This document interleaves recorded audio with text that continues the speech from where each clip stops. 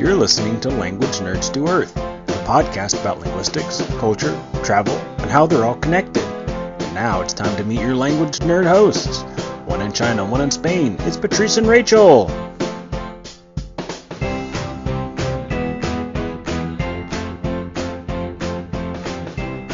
Hi, I'm Patrice, And I'm Rachel.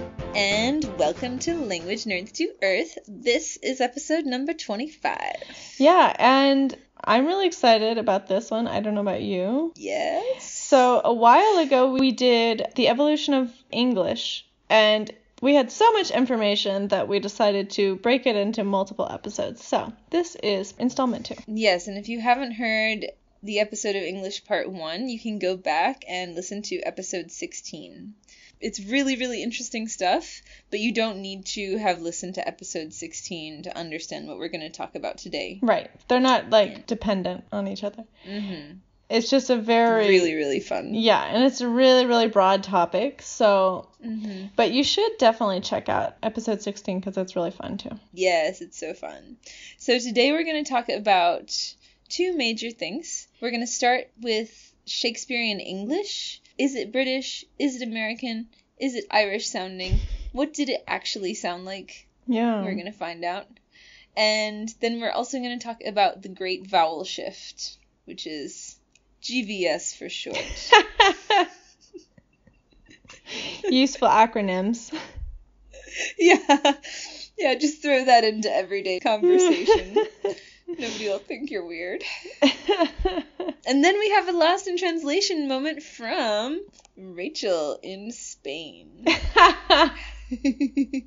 yes. Uh, but first, we've got some language news. Language news. So, this week we read an article about a Creole. So, we've talked about this in a previous episode, but basically, when speakers of a different language move to a different area where that language is not spoken, their children form what's called a pidgin. So it doesn't really have grammatical rules, but it kind of mixes the vocabulary and it allows them to communicate and combine the two different languages. But I think it's not just the children, it's also like the people in that area. Like right. the adults want to be able to communicate with other adults who speak a different language from Yeah, them. you're right. And then after that, it eventually gains more grammatical structure and vocabulary, I believe, and becomes a Creole. Exactly, yeah. Okay, so there is your introduction to the language news. So we're going to go to Australia now. There's a new language spoken by millennial Aboriginals in Australia. It's in Lajamanu, mm, probably butchered that, which is Australians Australia's northern territory, and the new language is called Light Warlpiri, and it's less than 40 years old. Most speakers are under 35. mhm. So Light Warlpiri is a fusion of three languages. It's Warlpiri, Standard Australian English, and Kriol, which is the English lexified Creole. Right. And Kriol here is spelled K R I O L. That's right. It's super interesting though because the verbs are from Kriol and English, but the grammatical structure is Warlpiri. Right. And so Creoles are created by kind of mixing two different languages out of necessity, you could say. And so this developed from bilingual children code switching.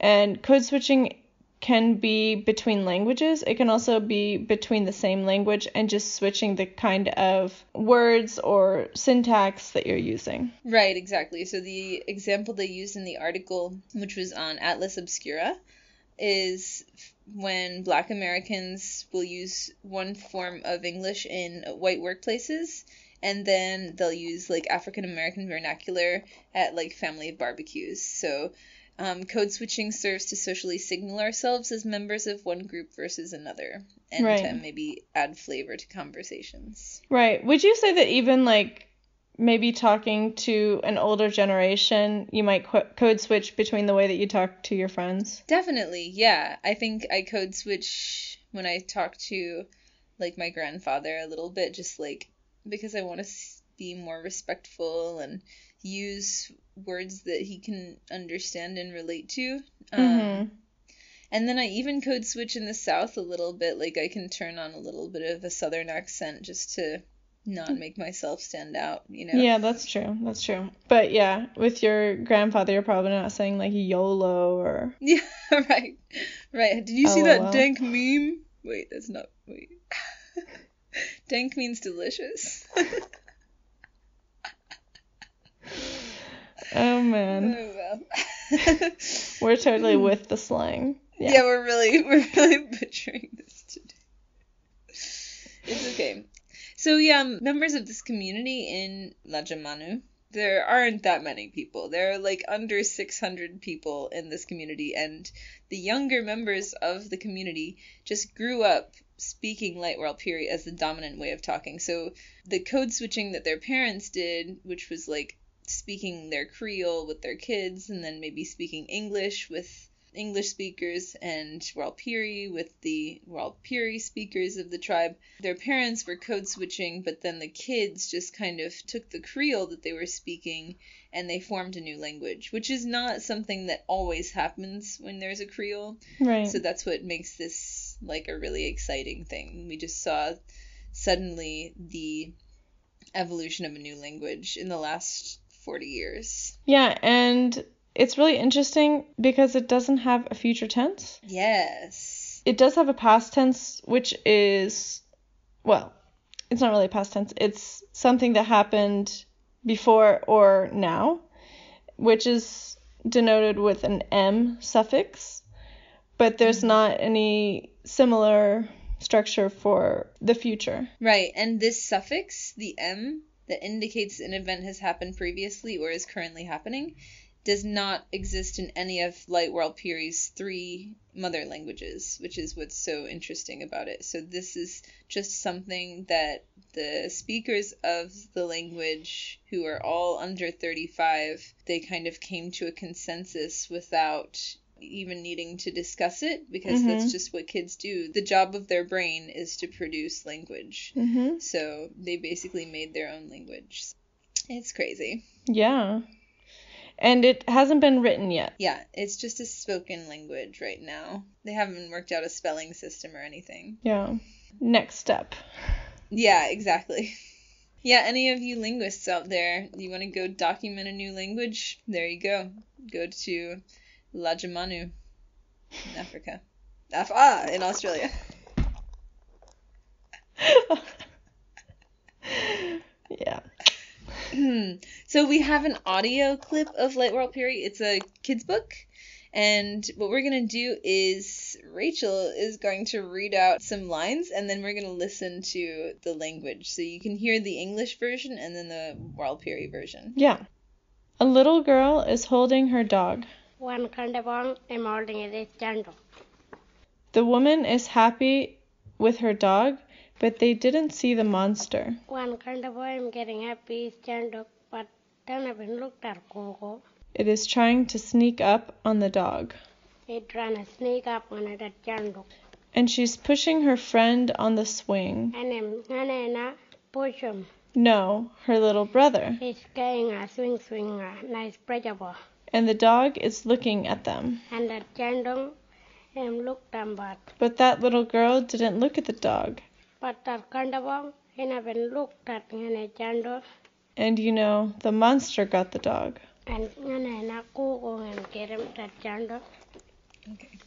You can really hear how it's similar to English, but it's still not very comprehensible. Right. Cool. So I'm really very interested to see what happens with this next. Yeah. Do you think it could become a bit more widespread outside the community, or do you think it will always just stay like a very localized language? Yeah, that's a really good question because it's only spoken by 350 to 450 people. And it's not, I mean, the community has grown in the last 50 years, so I guess it just depends on how many people are going to stay there and procreate, maybe. Mm-hmm. Yeah. and how many people are going to move into the community and if it's going to become like the main language of the community as this generation gets older. So, what do you think? I don't know. I guess we would need to find out a bit more about the culture of the community and the geographical specifics. But anyway, it's really interesting. Yeah, I think so. Nice. Okay, so it's time for the much anticipated evolution of English part two. Yeah. Two, two, two. Yeah, I've been looking forward to this for a long time. Me too. I got so into it the last time, and Yeah. it was just way too much information for one episode. Yeah, exactly. Actually, we were planning on talking about one of these topics the last time, but we got really into it and just didn't have time to cover it last time. Yeah. So, so we saved it till now. So that's the first thing we're going to talk about. Shakespearean English. You know, you might have heard the rumor that the way Americans speak is closer to Shakespearean English than the way British people speak. And people who say that have also I've also heard, you know, like British people after they lost the Revolutionary War, they wanted to differentiate themselves from their traitor colonial citizens. Which, okay, let's break that down a little bit. It's not crazy to say that we speak closer to Shakespearean English, but it's also not correct. Actually, yeah, exactly. You're right. So there are people who try to do Shakespeare in the OP, original pronunciation. And actually, we have a little clip of Hamlet, which is Hamlet spoken in the original pronunciation of Shakespeare. To be or not to be, that is the question. Whether it is nobler in the mind to suffer the slings and arrows of outrageous fortune, or to take arms against, essay troubles, and by opposing, end them. To die, to slay, no more, and by a slave to say we end the heartache and the thousand natural shocks that flesh is heir to. 'Tis a consummation devoutly to be wished. To die, to sleep, to sleep perchance to dream, aye, there's the rub. For in that sleep of death, what dreams may come when we have shuffled off this mortal coil must give us pause. And it just sounds like a mix of British, English, and maybe Irish, you know? Yeah. There's a lot of R, R. So, Right. Yeah, so that is one of the similarities, is the rhotic nature of the R. Erotic, mhm. spelled R H O T. It's not like erotic or something. but but rhotic R's are like what Americans use, what the Irish use. A lot of like Scouse accents have the rhotic R too, I believe. I thought And- Scottish mostly rolled their R's, but I might be wrong about that. Yeah. Yeah, you're probably right. But they do pronounce the R, not like the Not the way the British do. non-rhotic. British English just kind of drops a lot of their R's and then puts them in weird places. You know? hmm I'm trying to think of an example of that, but I, I can't now because I'm on spot. I know what you mean. Um, it's it's kind of like a it's like a shadow R Oh. when because I had to like prove to somebody that this existed. Like the- I was like, it's true. Sometimes there are where they don't belong. Um, I just always remember Cat Deeley on So You Think You Can Dance. Uh-huh. She would she would always say like Jessica and Oh yeah. uh, whatever Carl. Oh yeah, it or- would be it I feel like it's to separate vowels sometimes. Jessica exactly and- Jessica and Mhm. or Jessica and. Mm, yeah, that's the only time they say ours when they don't when they're not there. Although some accents, I think some different English accents, like, um, sorry, English people, I'm gonna butcher this probably, but West Country, I believe they say their R's. Mm-hmm. If you think like Hagrid, Okay. Harry, Harry. Yeah, Harry you're a wizard, Harry. oh yeah. I think our second biggest um, download source is from the UK. So you're welcome, people from the UK. You're welcome for me butchering my Yeah, English accent. it's okay. But yeah, so during the time of Shakespeare, Brits actually did pronounce their R's. And when Shakespeare's plays were released, they weren't posh. Like the language wasn't posh. At the time, it was just everyday speech. Right. Like we think of Shakespeare and we're like, oh, Shakespeare, the language of whatever. I don't know. It sounds really posh to us. Yeah. And part of that is the accent that's typically done, the Shakespearean accent, which is not actually the original pronunciation. Mm-hmm. It's just because British English has a connotation of being posh, basically. Yeah. You think about quote unquote the Queen's English. Mm-hmm. Although, what was very interesting to me about what we read was Queen Elizabeth I.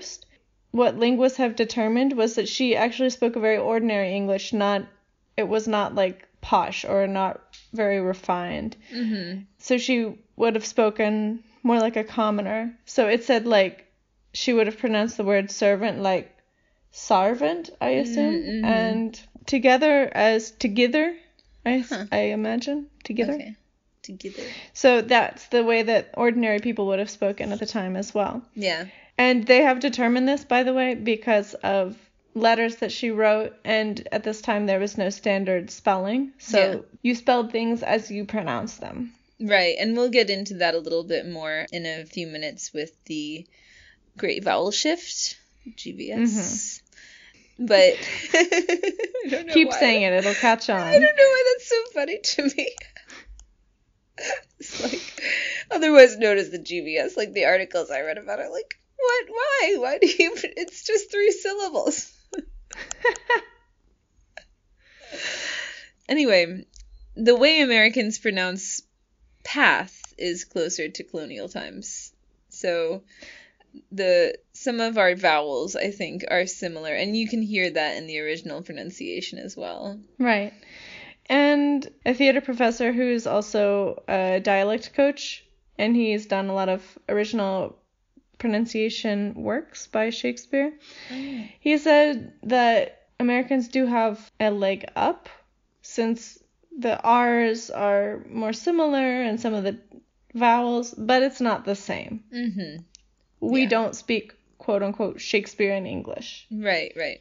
I do think you can see remnants of English in you might have heard this before too, like Appalachia. Mm-hmm. A lot of their metaphors, I think it is, are really close to metaphors in um in Old English or Mm-hmm. English that was brought over in colonial times. Yeah, and I've thought it myself also just people talk very outdated, Mhm. like using a lot of vocabulary that is not used in England anymore, but then you hear it like in poetry or in folk songs or something Mhm. that people still commonly say in Appalachia.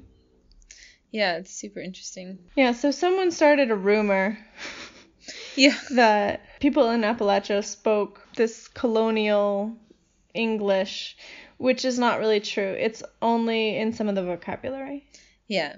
But it's still really cool. It is. Is. a good idea. Yeah. So, like an example of that would be like afeared, Mm-hmm. Afeared, yeah. and um, one that I was saying the other day, yonder. Mm-hmm. Yeah. Uh, actually, super tiny little side note. I worked at a language company when I was in the U.S. and somebody wanted a job teaching Spanish somewhere in the Midwest. Um, Mhm. And he just randomly sent in his application. There was no job for him out there, but on his resume, he had like a paragraph about his linguistic background. And I wrote him back and I was like, this is so cool. And he was like, you're the only recruiter who's ever actually read that and responded to it. But he said that um, his ancestors came from Spain when Spain was conquering that area of the Americas. So his family, people in that area, I wish I could remember which state it was in. I think, I want to say like Arizona Mm. but his family speaks the Spanish that colonial Spanish settlers spoke when they landed. So there are some minor differences in conjugation. So Huh. yeah, so I don't remember exactly. It was like like some letters just switched around at the end of the tú form. The um I don't remember exactly what it was, but he gave some examples and it was really really cool. That's so interesting. Yeah, it's really cool. Anyway, going back to English, the great vowel shift actually ended just after Shakespeare's time. And that's maybe that's why there are such big differences. Rachel was talking about earlier how there was no standardization for spelling when Victoria was queen. And that gives us a lot of insight into how things were pronounced. So that's how we know that the great vowel shift happened. Nobody's totally positive about how th- how things were pronounced, but the misspellings are a huge clue. So misspellings betrayed the phonetic pronunciation of a word, and also they looked at the way songs were written, like what thing, what words rhymed with each other. Yeah. which is really cool. Yeah, exactly. And I think also some Shakespearean uh, rhymes as well would have worked. Definitely, yeah. There are so many slant rhymes in Shakespeare. yeah, slant for us. Mm-hmm, slant for us, exactly. But at the time, it probably would have worked better. Like I read one, I think it was Shakespeare, love and prove. right. So for us, that doesn't rhyme even a little bit. But it said that prove would have been pronounced more like love. ah, prov. Yeah. Maybe, maybe prov. Cool. So the Great Vowel Shift started in the 15th century, so right after Shakespeare's time, and it lasted over. It happened gradually um, for one to two hundred years, and it mostly affected the pronunciation of long vowels. So we have some examples of words that changed over time. I think we have about seven here that we pulled from Wikipedia, and they're super interesting. So we can go one at a time and discuss. Yeah. The first word is bite. beat, bait, bait, bite. The only thing that I would mention is it mostly affected long vowels. It moved the position of the tongue so the sound came out the front of the mouth and then like it went to the back of the mouth. So you listen to beat. Bite is originally beat, which you say like in the front of your mouth, and then bite is more is more toward the back. So it's a long vowel now. Right. Does that make sense? Yeah, it makes well, to me it makes sense. Um beat is also the tongue quite high, e, Yeah. and Yeah. it becomes more open like I. Exactly. Yeah, that's exactly what happened. Yeah. So let's listen to another one and see if we can hear it. Okay. So this is boat. boat, boat, boat. It was boat and now it's boat. So it, I feel like it's almost the tongue relaxing, you know?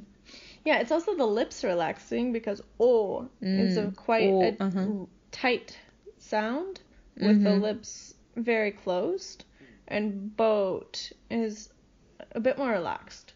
Mhm. The same thing happened with um house. So house was hus and it became house. And I feel like somehow that just like the great vowel shift maybe didn't really get to Canada, you know? yeah, some words hung around. Yeah. That's pretty cool. Yeah. All right. The next one we have is boot. boat, boot, boot. The reverse happened with this one. Boat, boot, boot. Mhm. Yeah. That's basically what I heard. Yeah, it sounds like the opposite of what happened with boat. Yeah, that's kind of funny. Boat and boot kind of switched the meanings almost. Yeah. Yeah, yeah. Funny. So the next one we have is mate. Like he's my mate. mat, met, mate. So, so it was a that's a short A, right? ah, I mean, It's the ah in father. yeah, it's a very open sound. Mat, Mhm. mit, mate. It's more it's more of a German sound Mhm. actually or Roman sound. Yeah, definitely. So that one actually became a bit more closed. Mm hmm, Mate. Mot, mate. So actually each of these words is, is starting with a different vowel. So we're looking at all the different vowel sounds. And a lot of it was diphthongization. So mot is one vowel and a diphthong, if you don't know, is two vowel sounds blended into one. Mhm. And mate is definitely a diphthong. It's an a and an e sound. Mhm. Yeah. So the next one we've got is meat, as in M E A T. met, meet, meet. So, yeah, this one goes from fairly open and long, kind of a long sound, mm-hmm. met, and to a more closed sound that's shorter, neat. Yeah. There's a graph of these shifts, and it's really interesting because, like, a lot of the sounds that were originally one sound became another sound together. Yeah. Not all of them, there were some exceptions, but a lot of these sounds were consistent in the shifting, Yeah. which is pretty cool. That's so interesting. It's almost kind of like circular, right? Like, I'm trying to Mhm. remember the graph in my mind, but Yeah. so like this one went to this one, this one went to another one, and almost like in a Yeah. circle or something. Exactly, yeah. It's really weird because it's not like people had charted out the all the different vowels in language and just decided to move them strategically in a circle, but yeah, it's funny that that it was consistent Yeah. pretty much. Really interesting. So the next one is meat, but M E E T. meat, meat, meat, So, it's still it was different from it was close to M E A T the first time, but it wasn't exactly the same. Yeah. Yeah. Meat. I think it was something like that. Yeah. Which is almost like an I sound. right. Yeah. an I a in, short I. in modern English. And that one definitely got shorter. Meat. Good point. Yeah. Meat. Yeah. Me- meat. Meat. yeah, that's true. Okay, one more. This is out. And this is where you're going to hear what I mean about Canada. oot, oat, out, out, Interesting. So this Mhm. one went through four different phases. Oot, oat, out, out. Mm-hmm. Although I said the last one in my very American accent, but, but he said a little bit more like out. yeah. But the prior one, the one right before the modern one was out. Out. Alt. Alt. Yeah, it's more of like an AU instead of an OU. Alt. Alt. Out. Alt. Alt. Out. Alt. Out. Out. Yeah. Out. Yeah, it's a bit of a darker sound and a bit further back. Mm, yeah, it's almost like we brought it forward a little bit. Yeah. So, Out. Really interesting. yeah. And this is what you were saying about Canadians. Yeah. Yeah, exactly. Out. Ouch. Yeah, um, the other words, let me see if I wrote it down. Oh, yeah, house was hoose. Um, mode was mood. So before the great vowel shift, I watched this video about it. Basically, before the great vowel shift, we pronounced long vowels more in the front of our mouth, and then we moved toward the back of our mouth. So house was hoose, mode was mood, and we also diphthongized vowels. Yeah. But why? Why did this happen? Yeah, so it's not really clear, right? But there are Mhm. several different theories. Yeah, and it's probably a combination of all of them, to be honest. Yeah. So, They're all pretty valid, I would say. yeah, yeah, it's really interesting. So, part of it, this was around the time of the Black Plague. So, people moved from southern England to eastern England. And so, there was that mixing of accents Mhm. at that point. Another one actually is kind of funny because we already talked about this in Shakespearean English. You know, after the Revolutionary War, it's said that the British changed the way they spoke to differentiate themselves from the Americans. And after the change in English rule by the French, when the French were no longer in charge, that's when this great vowel shift happened as well. So um, the English were either hypercorrecting, like trying to not make themselves sound French. Mm-hmm. So that might have been part of why they they changed the way they spoke. Right. So it could have been what you said that the war with France and the general anti French sentiments caused a feeling of wanting to differentiate themselves and become less French. So Mhm. they started hypercorrection. Um, but there's another theory that states that the prestige of French, so we know that French was regarded as very prestigious and spoken by the elite, by the high classes. So the middle classes might have wanted to sound a bit more like that, and so they hypercorrected, but their vowels did not sound more French, they sounded actually less French. Huh. Interesting. Yeah. So we don't really know which of these took place or if it was a combination of the three, but it changed so much of the way that English was spoken and then hence written. Right.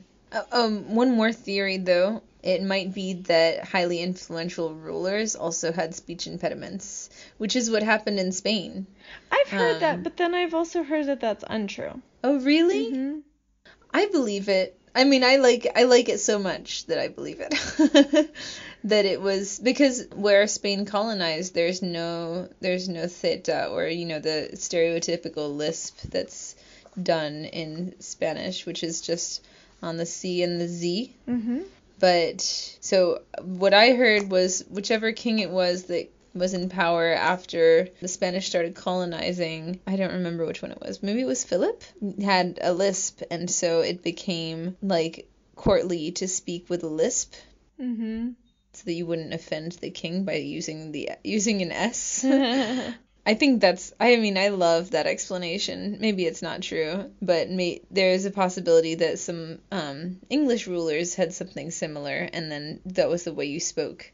But yeah, it's interesting to think about though.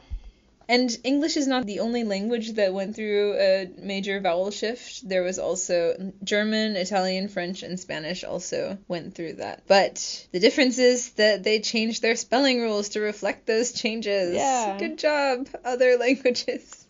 Yeah. So that kind of explains why you can look at a word in English and be like totally wrong about how it's pronounced. Colonel. Yeah. Enough. I know it's really hard as an English teacher sometimes. Well, it's not really hard for me. It's just a little sad for I feel a little bad for my students sometimes. Yeah, it's like, definitely frustrating for them. yeah. Yeah. And like the GHs uh, that always sound different and yeah. But it is good. Like I can tell such a huge difference in my my second graders versus my eighth graders. So I teach two grades right now. I teach second and eighth grade. And my second graders whom I taught as first graders are just so much more ready to learn and pronounce correctly. Oh wow. And then my eighth graders are just like embarrassed by everything around them. and I'm like, say your S's, say your TH, like, th- th- show me your tongue. And they're just like, no. yeah. So yeah, that's the great vowel shift. Yeah. GVS. So I think that kind of wraps up what we have for this installment of the evolution of English, right? Yeah, I think pretty much. So if you enjoyed this episode and you want Evolution of English Part 3, you can just let us know. Maybe in another eight episodes we can do that. Yeah. And we'd love to hear from you if you have any experience with this and you know anything else about it that you'd like to share. You can comment on the show notes. Yeah. Any linguists out there? Yeah, we'd love to hear from you. So now it's time for our Lost in Translation moment. Yes.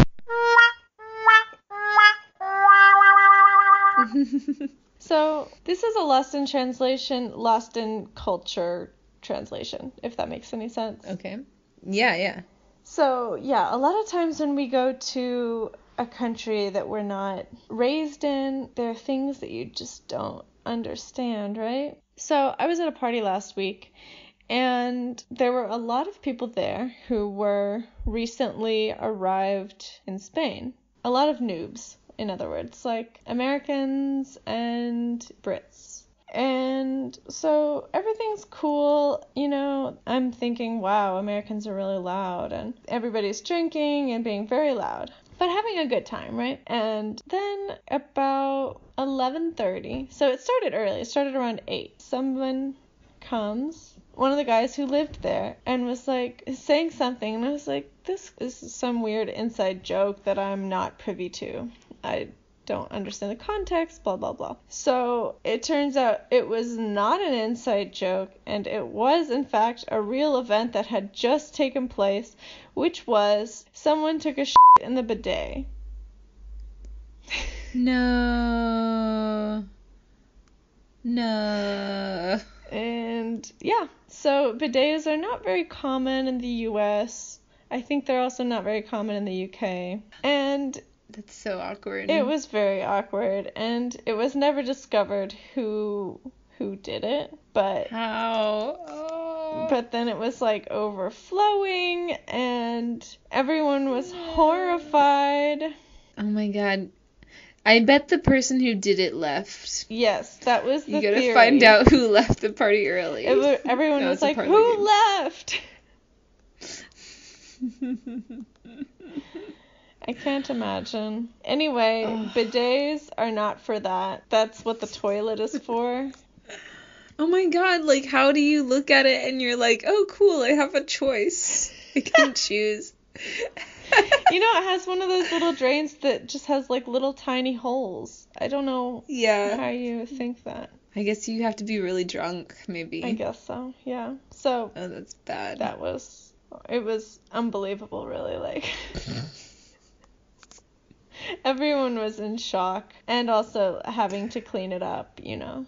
Yeah, I I know that's like my next that's where my mind goes like who had to put on the rubber gloves and take a paper towel and like actually move it. Yeah. And clean That up the poor, floor. Poor soul. Oh no.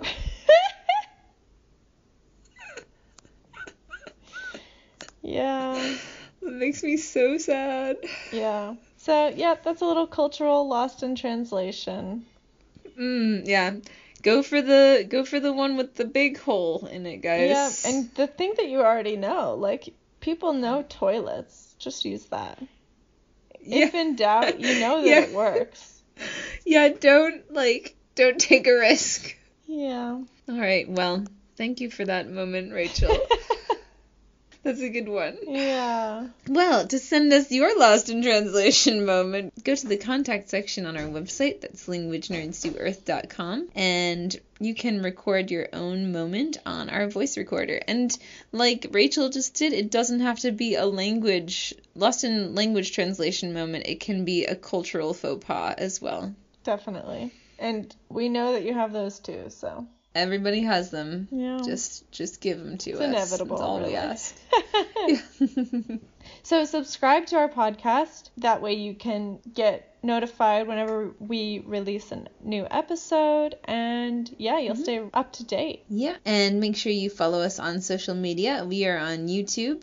We have a Facebook page. We're on Instagram. We're on Twitter, and we're on Pinterest. So that way we'll be right in your face. All the places. Yeah.